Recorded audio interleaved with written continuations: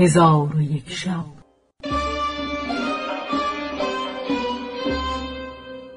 چون شب دویست و سیوم برآمد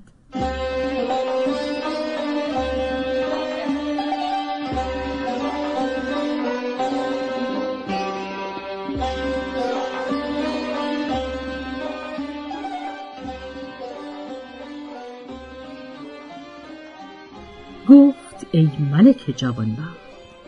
ملک امجد از اشارت ماهرو دانست که قصد ماهرو این است که ملک امجد به هر جا رود او نیز با ملک امجد برود. و اما ملک امجد شرم داشت از اینکه او را به منزل خیاط که امجد را جای داده بود ببرد. پس ملک امجد پیش افتاده برفت و ماه منظر نیز بر اثر او روان بود و از کویی به کویی و از محلتی به محلتی همی رفتند تا اینکه پریزاد مانده گشت و آزرده شد و به ملک امجد گفت تو را خانه در کدامین محلت است؟ ملک امجد گفت خانه من در همین نزدیکی است. اندکی مانده که به دانجا برسیم پس از آن به کوچه دیگر در آمدند و همی رفتند تا به آخر کوچه برسیدند. ملک امجد دید که از آن کوی راه به در نمی رود و بنبست است. گفت لا حول ولا قوت الا بالله العلی العظیم. هیچ قوه و نیرویی جز خدای بلند مرتبه بزرگ نیست. آنگاه نظر به چپ و راست کرده در همان کوی دری دید بس بزرگ و این سوی و آن سوی در دو مستبه داشت ولکن در بسته بود. پس امجد در یکی از مستبه ها بنشست و زهر جبین به مستبه دیگر قرار گرفت و با ملک امجد گفت ای خاجه در انتظار کیستی؟ ملک امجد دیر زمانی سر در پیش افکنده سخن نگفت. پس از آن سر بر کرده گفت چشم به راه غلامک خیشم که کلید در با اوست و من به او گفته بودم که پیش از آمدن من از گرمابه تعام و مدام حاضر آورد و اکنون خواهد آمد. پس ملک امجد با خود می گفت بسا هست که چون دیر شود ماه روی برود و من در اینجا بمانم.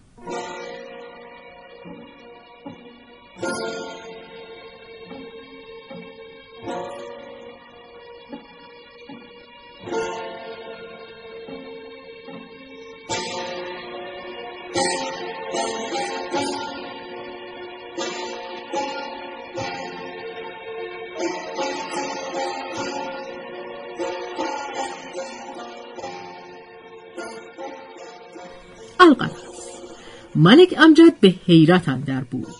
چون وقت دیر شد ماهرو گفت ای خاجه غلامک نیامد و ما به کوچه اندر نشسته ایم. پس برخواسته سنگی بگرفت و بر قفل زد. ملک امجد گفت ای خاتون شتاب مکن که اکنون غلامک خواهد آمد. آن دلارام سخن ملک امجد ننیوشید و سنگ بر قفل همی زد تا اینکه قفل بشکست و در بگشود. ملک امجد گفت از بهر چه قفل بشکستی؟ دخترک گفت حادثه ای رو نداده مگر این خانه از آن تو نبود؟ ملک امجد گفت خانه خانه من است ولکن حاجت به در شکستن نبود. پس دخترک به خانه اندر شد و امجد حیران ایستاد و از خداوند خانه بیم داشت و نمی‌دانست که چه بایدش کرد. پس دخترک گفت ای خاجه چرا به درون خانه نمی آیی؟ امجد گفت سمعا و طاعتا. ولی غلامک دیر کرده و نمی‌دانم که آن چیزها که به دو گفتم مهیا کرده است. این بگفت و در غایت اندوه و بیم به خانه در آمده دید خانه است نیکو و چهار قرفه روبرو در آنجا هست و فرش های حریر و دیبا به قرفه ها گسترده اند و در میان خانه حوزی است هشت گوشه که به نگینه های گرانبها اطراف آن را مرصع ساخته اند و در چهار سوی حوز همه گونه میوه ها و ریاهین و ظروف شراب فرو چیده اند و در آنجا شمدان ها گذاشته و کرسی ها نشانده اند. چون امجد آنها را بدید در کار خود حیران شد و با خود گفت کشته خواهم شد انا لله و انا علیه راجعون و اما دخترک چون مکان بدانسان بدید بی اندازه فرهناک شد و گفت ای خاجه به خدا سوگند که غلامک تو در تهیه منزل کوتاهی نکرده و از آنکه مکان را تربنگیز کرده و تعام پخته و میوه و شراب حاضر آورده و ما در بهترین وقت رسیده ای. ملک امجد بدو التفات نکرد و از خداوند خانه به حراس اندر بود دخترک گفت ای خاجه تو را چه می شود که به دینسان ایستاده ای؟ پس پیش آمده از ملک امجد بوسهی برو بود و به او گفت ای خاجه اگر جز من دیگری را وعده داده ای غمین مباش که میان به خدمت ببندم پس امجد از غایت خشم بخندید آنگاه به قرفه در آمده بنشست و دخترک در پهلوی او نشسته ملاعبت می کرد و می خندید. ولی ملک امجد ملول و روی در هم کشیده نشسته بود و هر ساعت هزار مالی خولیا می کرد و می گفت خداوند این منزل الحال می رسد من به او چه عذر گویم و او مرا به یقین خواهد کشت.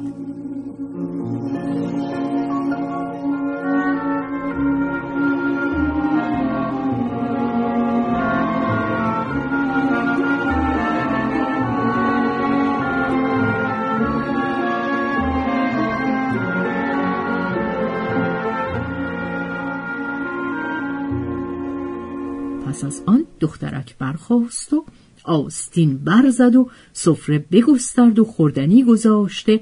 همی خورد و با ملک گفت ای خاجه بخور. ملک امجد پیش رفته همی خورد. ولی خوردنی بر او گواران نبود و چشم به سوی دهلیز داشت. چون دختر سیر شد سفره برچید. طبق میوه پیش آورده و ابریق می در میان نهاد. آنگاه قدهی بپیمود و به ملک امجد بداد.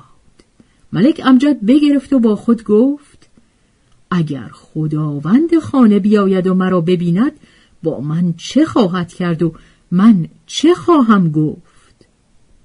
القرص قده در کف گرفته دیده بر خانه دوخته بود که ناگاه خداوند خانه بیامد و خور ملک بود.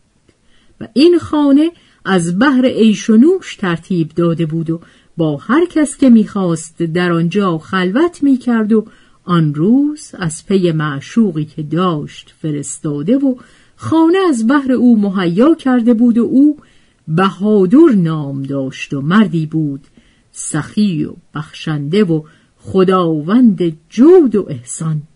چون به نزدیک رسید چون قصه به دینجا رسید بامداد شد و شهرزاد لب از داستان فرو بست.